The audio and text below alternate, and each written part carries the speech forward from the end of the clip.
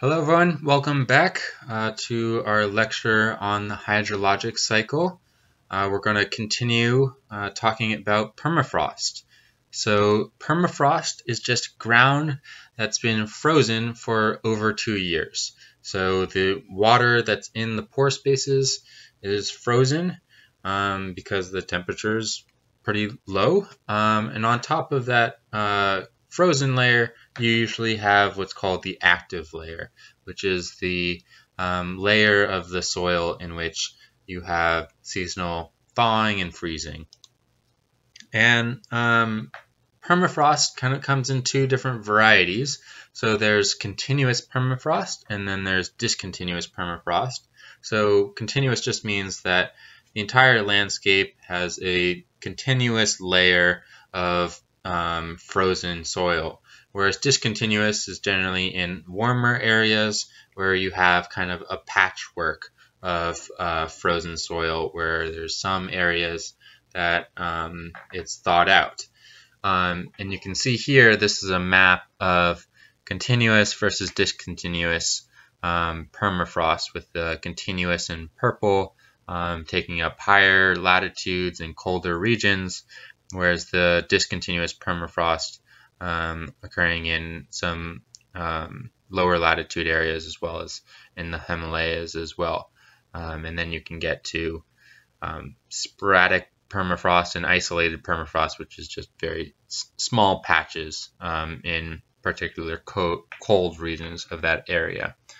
Um, so permafrost area has been steadily declining um, over the past several years. We can see that it's already declined um, significantly since the 1980s. Um, and climate models predict that the amount of uh, area that's permafrost will be significantly decreasing due to climate change. So we have um, these different climate scenarios that we've talked about before that RCP 2.6, which is the rapidly addressing climate change, in which we expect the amount of permafrost to be um, roughly about uh, 25% less than it is today.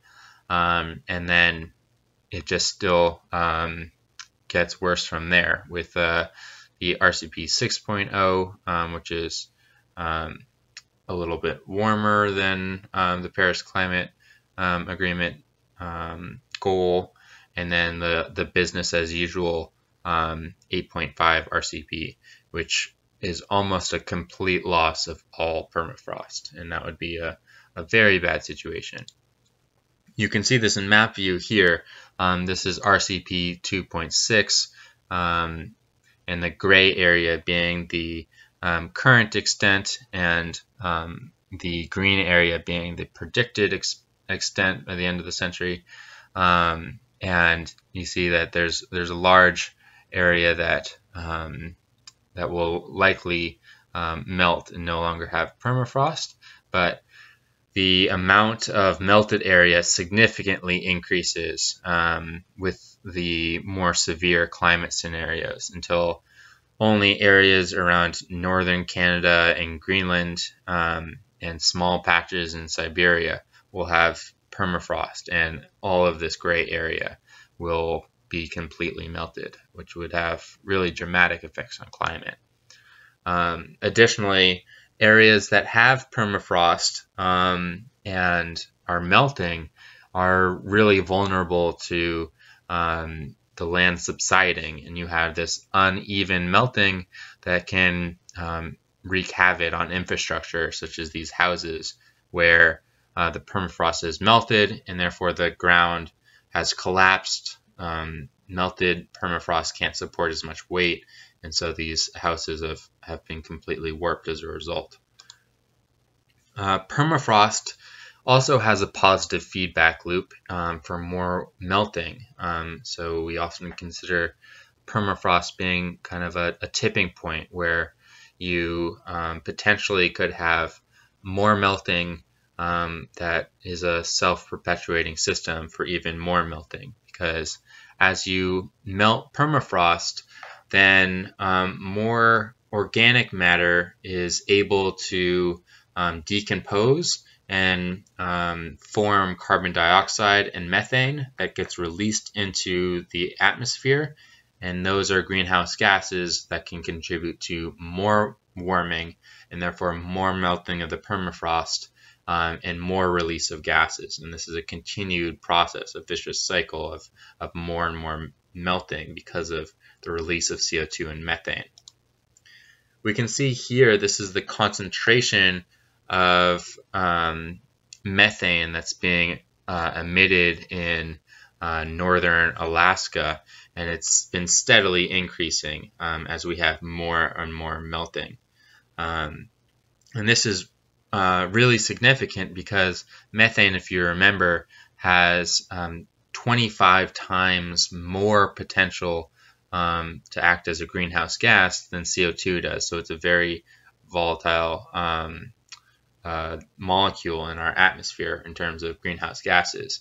And so if we have permafrost that's emitting a lot of methane because it's being decomposed and melting, um, that could be a serious issue we see here, this is the um, CO2 emissions from permafrost currently um, from a view from the North Pole. Um, and especially in areas of lower latitude where we have the most significant amount of melting right now, um, there's um, very large emissions of CO2 in those areas. So next, let's talk about groundwater. So groundwater is just water that's um, in soil spaces. Um, so all soil has pores, um, and groundwater can fill up those pores.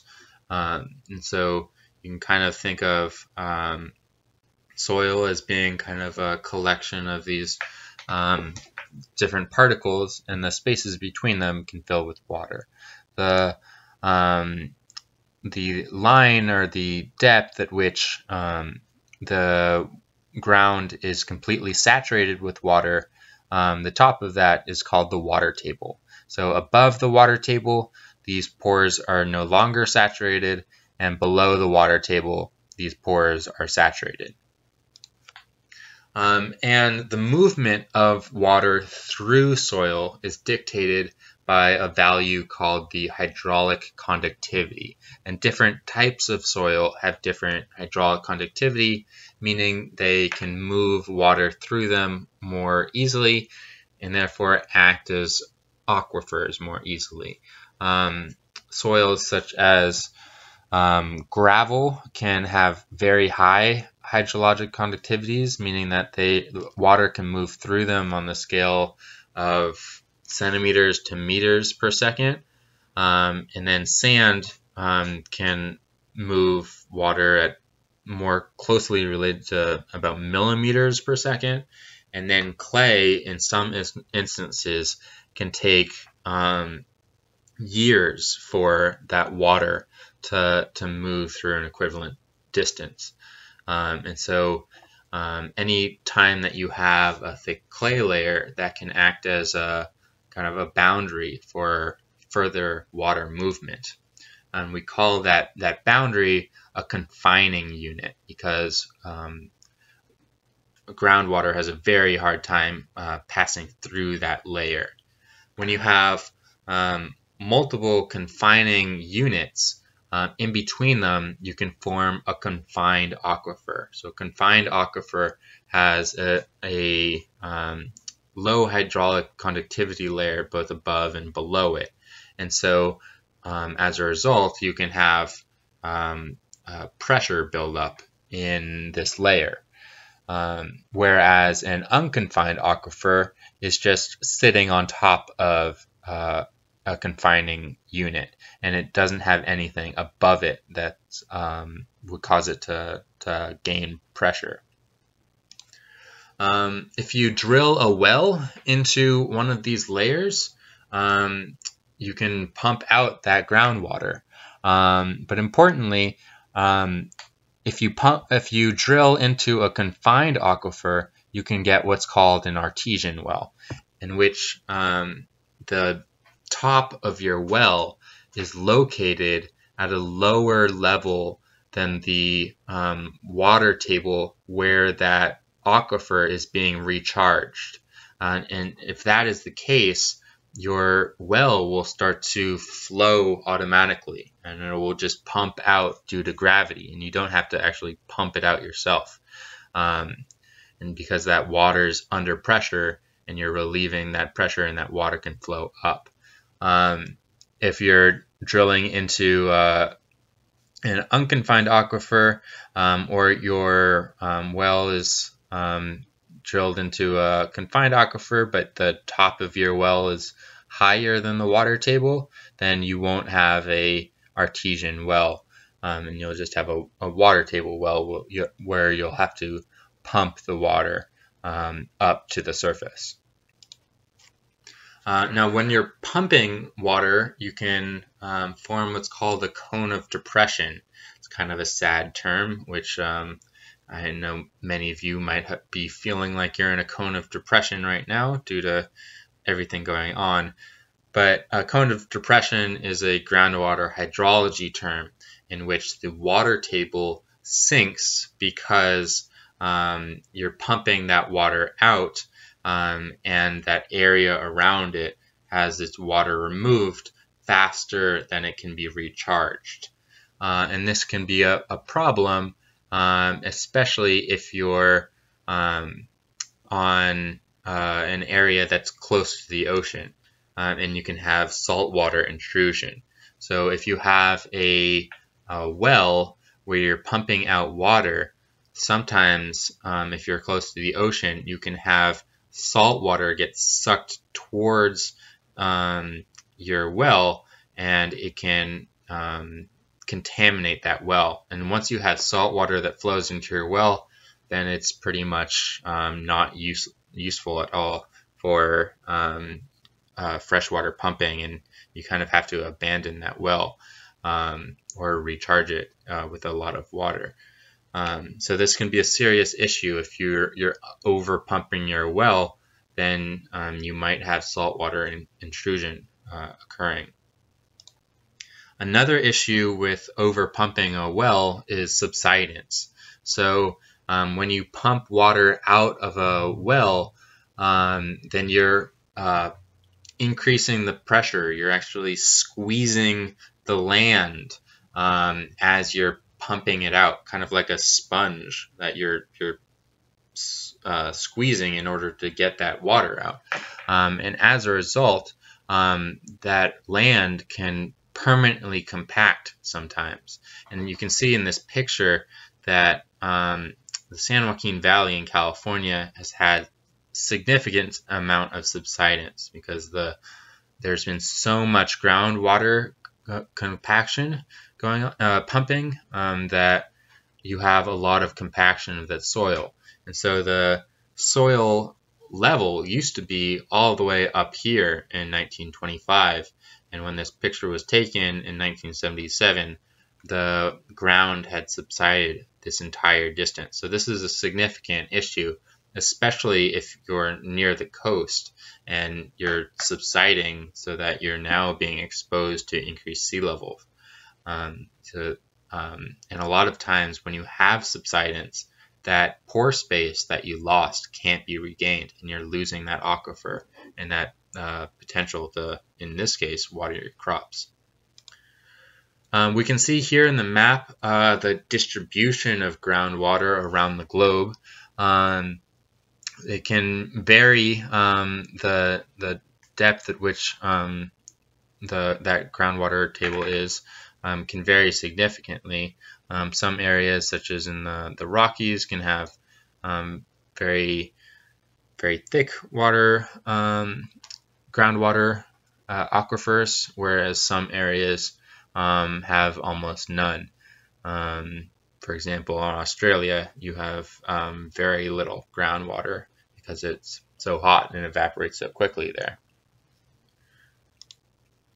Um, of course, climate change comes into this um, as well.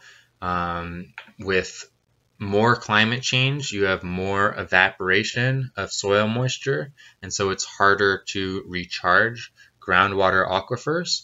Um, and also with climate change, you're going to have more areas that are going to be water stressed, and therefore people tend to pump more groundwater um, when they have less reliable sources, such as um, a river supply of water. Um, and so here you can see the projected um, water stress um, to groundwater systems into the future. Um, and there's a, a, drastic increase as we move into 2040 in an RCP 8.5 scenario where huge swaths of, especially in um, South uh, in Western United States, will be experiencing extreme levels of, of water stress um, with less water availability. So um, next, let's talk about um, plant uptake of water. So that's a, a big component of um, the hydrologic cycle is how plants themselves move water um, throughout their ecosystems. So um, trees can absorb a very significant amount of water and they can also produce their own weather as you can see here that these trees that are transpiring or um, water being released from their their um, leaves, or in this case their pine needles, um, can release uh, a lot of water vapor um, in the form of fog. And so uh, a tree uptakes water um, from their roots, and that water uh, moves up the stem or the trunk of a tree through um, narrow tubes of dead um, plant cells called xylem. And um, that water moves up the xylem, up the trunk, uh, and eventually leaves um, out through um, holes in the leaves called stomata. Um, and this is how you get um, nutrients coming up from the soil and up through the the into the into the leaves for more growth of that tree is that it travels along this kind of river of water through the tree. So the tree can either open or close those stomata depending on um, whether it needs water at that time or how water stressed it is. If it's very water stressed, it will close its stomata so it can't have evaporation occurring from the leaves. Um, and when it's um, going through photosynthesis and absorbing um, water, then it'll open up those stomata. Um, so um, that leaves the question of uh, how do the trees actually do this? Um, so we'll watch this video um, to, to answer that question. Trees need to transport water from their roots up until their topmost branches in order to survive. And that is no trivial task. There is a limit to the height that water can be sucked up a tube. It's 10 meters. If you suck on a long vertical straw, the water will go no higher than 10 meters. At this point, there will be a perfect vacuum at the top of the straw, and the water will start to boil spontaneously. For a tree to raise water 100 meters, it would have to create a pressure difference of 10 atmospheres. How would trees do that? When I posed this conundrum, a lot of people said the answer is transpiration. And that's when water evaporates from the leaf, pulling up the water molecules behind it. Now that's clearly a mechanism a tree can use to create suction, but it doesn't help us overcome this 10 meter limit. The lowest the pressure can go is a pure vacuum, which I imagine is not happening inside of tree leaves. Right? Right, Hank. So you might suspect that a tree does not contain continuous straw-like tubes. The tree effectively has valves in it. So you don't have a column of water. This big tube, which you're saying needs to be filled with water, is actually made up of cells. Although these are good speculations, they don't turn out to be correct. Scientists who study trees find that the xylem tubes that transport water do contain a continuous water column. So how else could the tree transport water from the roots to the leaves? They don't suck. They don't use a vacuum. Okay, so how do they do it? Squeezing like a cow, like you're squeezing a cow udder all the way up. There's little, little tree muscles in there. Yeah. Besides being a giant waste of energy, all of the cells that make up the xylem tubes are dead. What about osmotic pressure? If there is more solute in the roots than in the surrounding soil, water would be pushed up the tree. But some trees live in mangroves where the water is so salty that osmotic pressure actually acts in the other direction, so the tree needs additional pressure to suck water into the tree. Then it must be capillary action. The thinner the tube, the higher the water can climb. But the tubes in a tree are too wide. At 20 to 200 micrometers in diameter, water should rise less than a meter. So how do trees do it? Well, one of the assumptions we made is wrong. The lowest the pressure can go is a pure vacuum. Pure vacuum. Pure vacuum. In a gas, this is true. When you eliminate all of the gas molecules, the pressure is zero and you have a perfect vacuum. But in a liquid, you can go lower than zero pressure and actually get negative pressures. In a solid, we would think of this as tension. This means that the molecules are pulling on each other and their surroundings. As the water evaporates from the pores of the cell wall, they create immense negative pressures of minus 15 atmospheres in an average tree. Think about the air-water interface at the pore. There is one atmosphere of pressure pushing in and negative 15 atmospheres of suction on the other side. So why doesn't the meniscus break? Because the pores are tiny, only 2 to 5 nanometers in diameter. At this scale, water's high surface tension ensures the air-water boundary can withstand huge pressures without caving. As you move down the tree, the pressure increases up to atmospheric at the roots. So you can have a large pressure difference between the top and the bottom of the tree because the pressure at the top is so negative. But hang on, if the pressure at the top is negative 15 atmospheres, shouldn't the water be boiling? Yes, yes it should. But changing phase from liquid to gas requires activation energy, and that can come in the form of a nucleation site, like a tiny air bubble. That's why it's so important that the xylem tubes contain no air bubbles, and they can do this because unlike a straw, they've been water filled from the start. This way, water remains in the metastable liquid state when it really should be boiling. It's just like supercooled water remains liquid even though it should be ice. So you could say that the water in a tree is super sucked because it remains liquid at such negative pressures. And why are trees moving all this water up the tree? I want you to make a guess. Say it out loud. For photosynthesis? Actually, no. Less than 1% of the water is used in photosynthetic reactions. Any other ideas? Okay, what about growth? Well, 5% of the water is used to make new cells. Well, so what happens to the other 95% of the water? It just evaporates.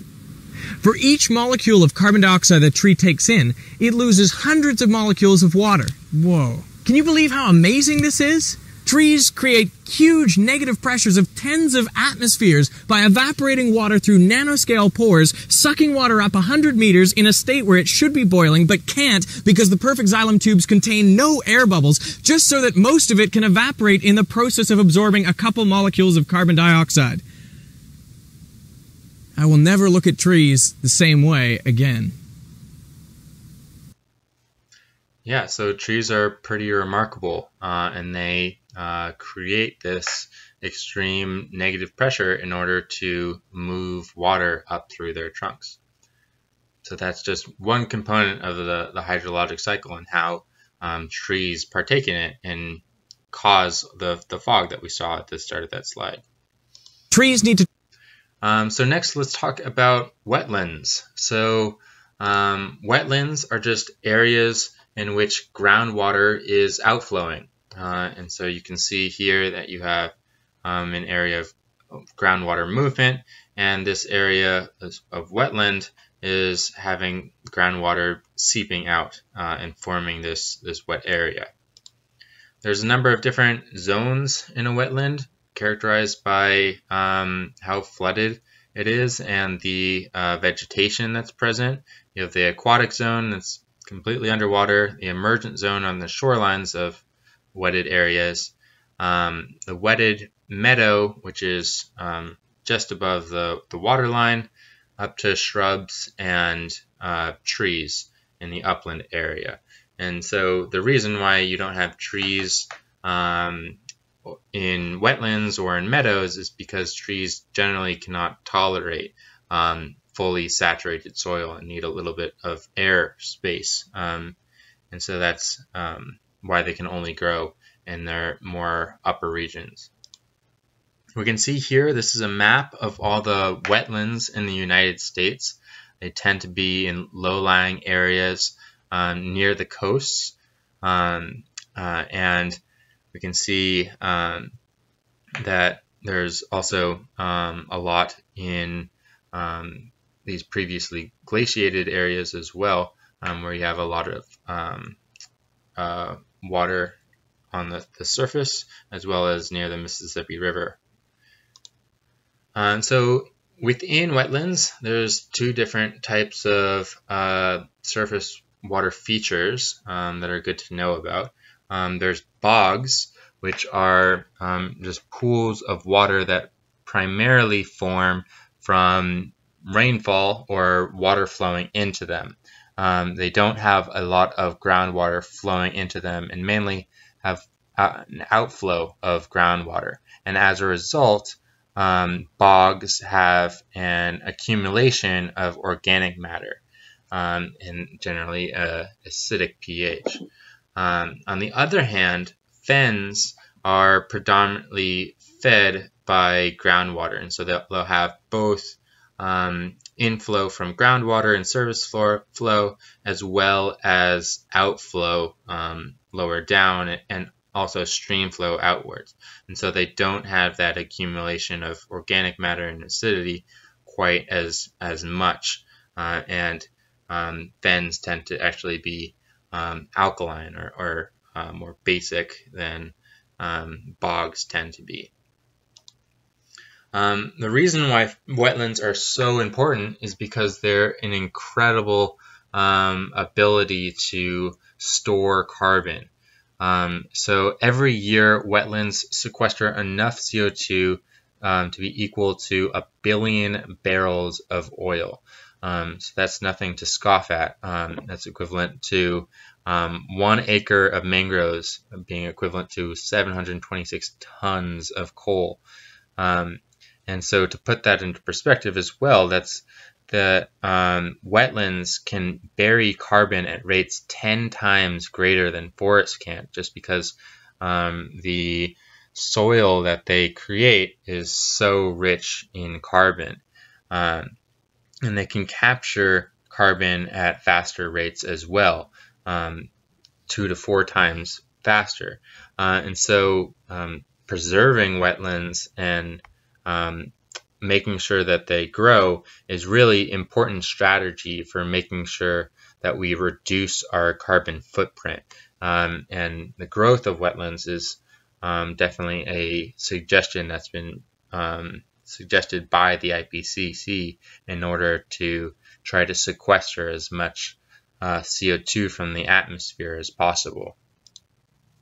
Um, and yet, we still have um, a lot of wetland loss. Um, this is due to a, a, number of different reasons, and you can see here that the rate of loss is very heterogeneous. Um, it's not not constant um, throughout um, the East Coast, uh, and you can see that um, previously we were losing significantly more wetlands than we are now. Uh, and the reason for wetland loss is not really tied to climate change that much. Um, and it's instead um, mainly a result of land use change.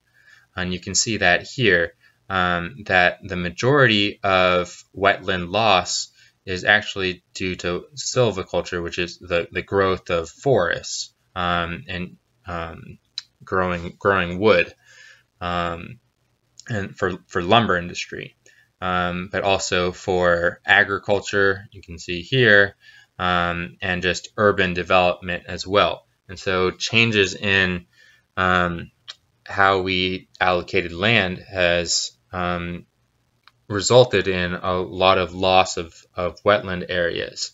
And now that we see what the, the tremendous value of wetlands are, um, we have now acted to try to preserve them a little bit better.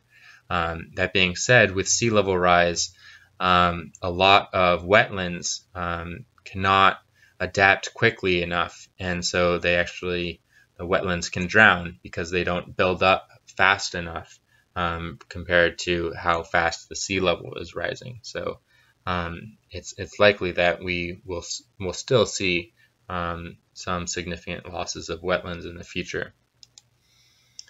Um, another major component of uh, the hydrologic cycle are rivers and streams.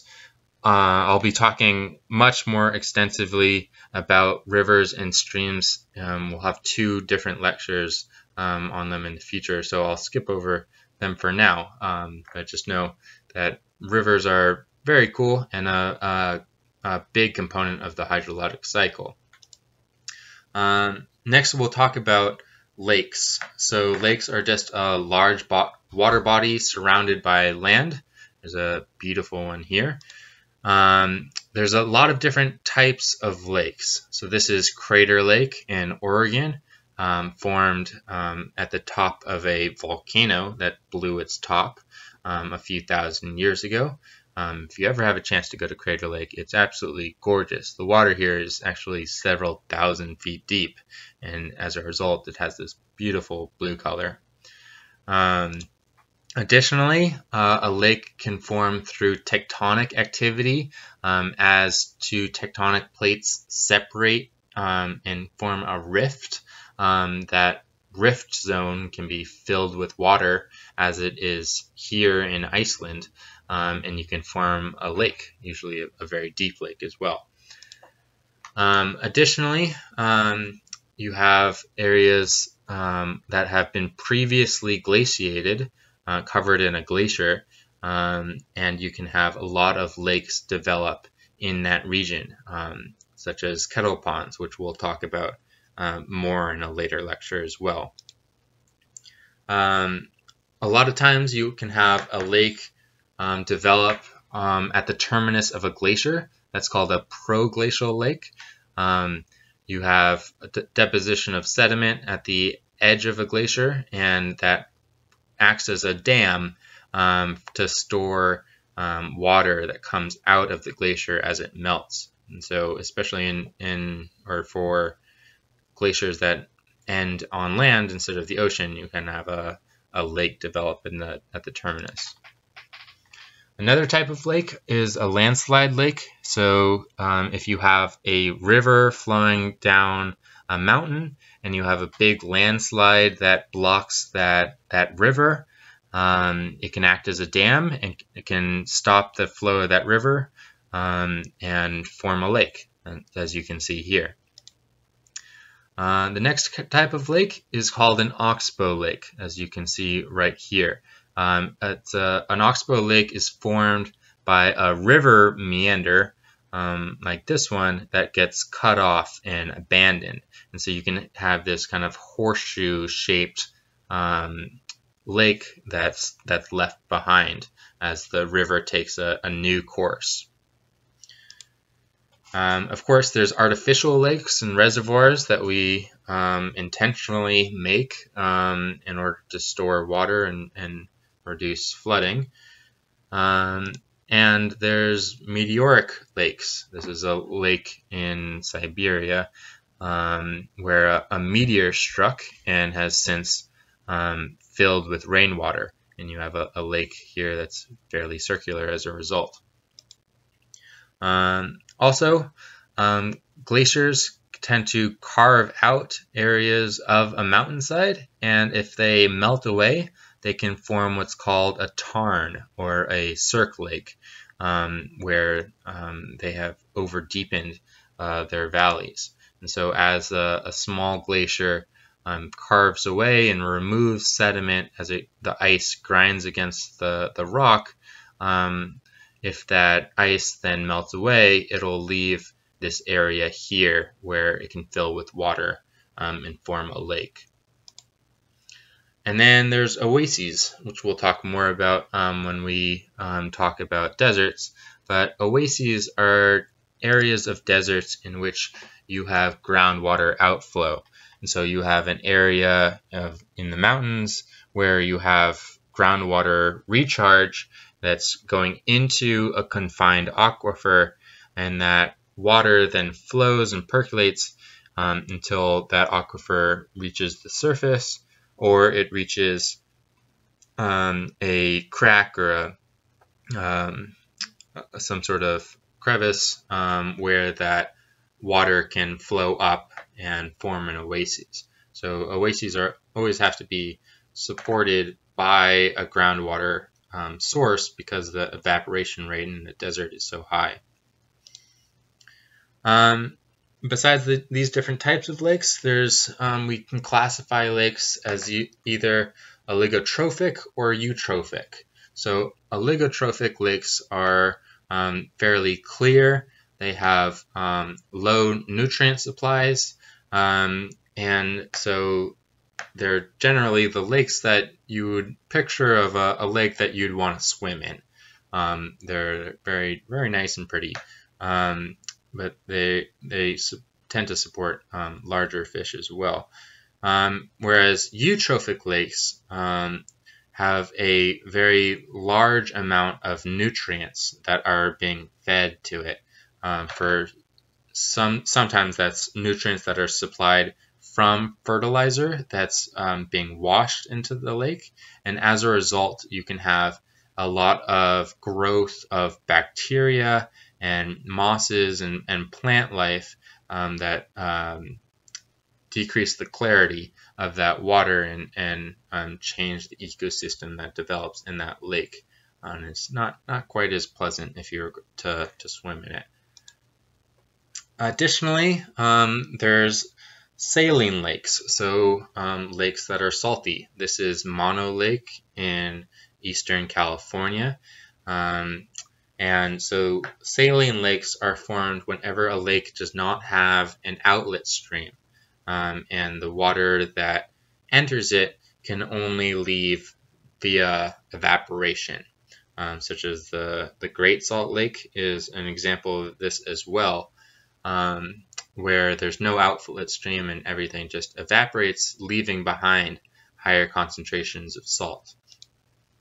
And actually, in terms of volume, um, saline lakes uh, take up as much volume almost as freshwater lakes, um, or at least large ones. And that's mainly because the Caspian Sea is considered a lake because it's surrounded by land in all sides and it's a very large water body. Um, but also, um, there's a lot of very large freshwater lakes, such as the largest freshwater lake, um, Lake Baikal, um, as well as um, these other lakes, including Lake Superior. Um, and then the smaller lakes that we see um, only make up a very small portion of the total volume of water that's contained in lakes. So we can see here, this is the density of lake area uh, throughout the world. So for each pixel, how, how what percentage of that pixel is um, taken up by um, surface water. Uh, and we can see that there's generally higher um, densities of lakes in the Arctic. And that's because you have all of these different um, types of lakes that can form in uh, previously glaciated areas. As the, the glacier recedes, um, then you leave behind an area that's very prone to um, surface water um, collection. Uh, and so you have a lot of lakes in the Arctic. You also have a lot of lakes around major rivers. So you can see here the Mississippi River and the um, uh, the Nile River here, where you have um, a lot of oxbow lakes as well um, that we, we just talked about. So there's lakes all over the world, um, and they um, are formed by different processes, but you can see that um, they're, they're definitely a, a big component of the hydrologic cycle. All right, that just about wraps things up. Um, in summary, we co covered different processes such as evaporation and transpiration within the hydrologic cycle.